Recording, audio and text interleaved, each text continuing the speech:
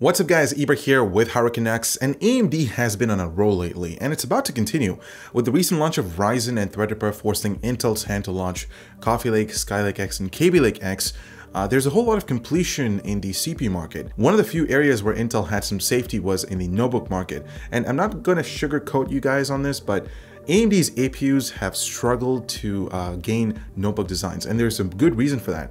They're too power hungry, they run a lot hotter than Intel CPUs, and the performance outside of games was just terrible.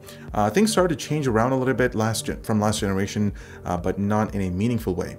Now that there's Zen, and you know, there's some hope that this new architecture would bring some big things uh, to the mobile space. So what has AMD done to change the game? Well, they've leveraged the powerful Ryzen processor design and combined it with Vega graphics compute units. The end result is a new line of APUs codenamed Raven Ridge, and notebooks with these new processors will be available very soon.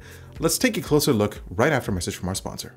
The Massdrop Vast Curved Gaming Monitor is now available measuring at 35 inches with 3440 by 1440p resolution at 100Hz and FreeSync support with nice stand that can do portrait mode because why not? So join the drop with the link in the description below to get your game on.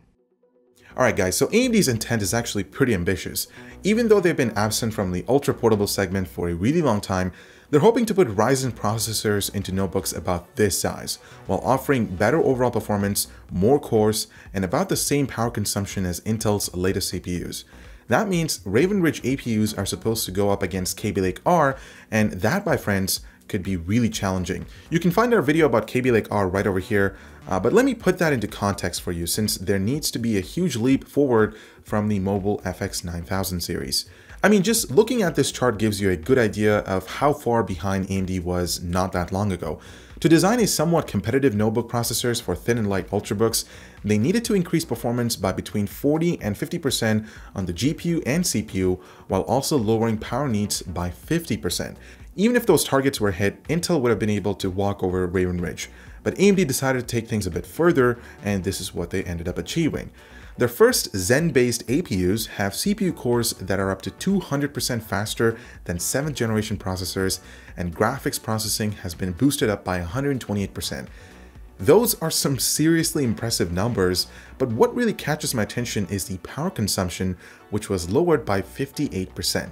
That means longer battery life and you can spend less time looking for a charging location, which was also always an issue with Bristol Ridge and earlier mobile APUs. At least initially, the mobile Ryzen processors will be available in two different forms, the Ryzen 7 2700U and Ryzen 5 2500U. Both will be based off quad-core 8-threaded layouts, but the 2700U will operate at higher frequencies.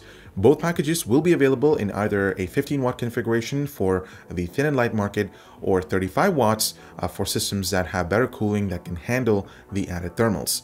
The integrated Vega graphics may have been based off a new architecture, but don't expect them to offer much in the way of performance in higher-end games. The 10 compute units paired with relative clock speeds of the Ryzen 7 graphics subsystem makes it roughly one-sixth as powerful as AMD's Vega 56. Okay, the GPU specifications don't really look impressive, but what do they mean for performance? Well, let's take a look at what AMD says, and remember, this is likely a best case scenario since Intel CPUs don't do all that well in DX12 applications right now.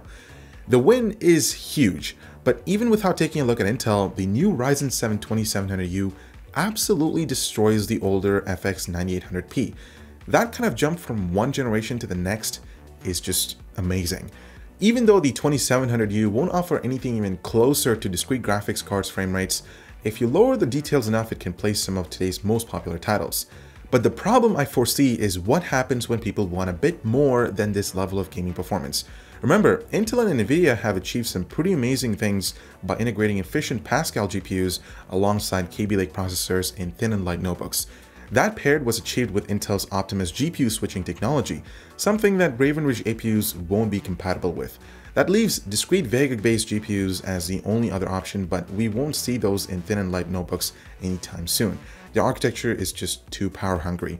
On the CPU side, AMD sees their 2700U lining up well against the Kaby Lake R i7-8550U. That processor also has 4 cores and 8 processing threads, while offering TDP values from 10 to 25 watts, depending on the configuration chosen by the system builder. In the chart you're seeing right now, there's no mention of which system the 2700U is installed into, but the Intel CPU is seated in an Acer Spin 5. That means we may very well be seeing an apples to orange comparison, but nonetheless, AMD wins clearly in multi-threaded applications like Cinebench. Single-thread performance falls behind though. When the charts get the 2500U, the results remain pretty much the same with the AMD processors pulling ahead in multi-threaded benchmarks, but falling behind when less threads are needed. Remember, these are synthetic benchmarks and if history is any indication from our testing of Kaby Lake versus Ryzen, real world applications will be very tight. Even battery life seems to be pretty encouraging against their previous generation, but one thing that is conspicuous by its absence from this chart is an Intel processor. There isn't even any mention of the systems being used for both AMD APUs, but we'll assume they're identical. But one of the main problems with AMD's mobile processors has always been their availability. Announcements were made and products shown off, but actually finding them to buy was challenging. Many ended up being paper launched and nothing else. I'm hoping this time will be different since uh, there are already some thin and light notebooks in the works. HP will be introducing the 15-inch Envy X360, which has the Ryzen 5 2500U, up to 8GB of dual-channel memory, a huge 55-watt battery that packs just 19.5mm thick. Lenovo will have a more compact 13.3-inch notebook called the IdeaPad 720S, which will have the option for either the 2700U or 2500U, but only a single channel memory. Luckily, that notebook is also super thin and will come with a fast NVMe SSD. Finally, the Acer Swift 3 seems to be the best of both worlds since it's light, thin, and comes with an IPS screen and dual channel memory. We're hoping to get our hands on these really soon, and I'm pretty excited about that. Well, there you guys have it, our quick overview on these new upcoming Ryzen mobile processors. While we only know a little bit about it right now, and of course the benchmarks was given to us by AMD, uh, there's a lot to be excited about. You see, competition is great, and especially in the thin and light notebook space, and if these new APUs can deliver at least 75% of what AMD claims, things are going to get really interesting uh, for the rest of the year and of course into 2018. So what do you guys think? Are these new Ryzen processors going to make some inroads into a segment where Intel is still supreme? Would you consider buying an AMD notebook? Let me know in the comments down below. I'm Eber with Hardware Canucks. Thank you so much for watching. Uh, make sure to subscribe for more similar content, and we'll see you in the next one.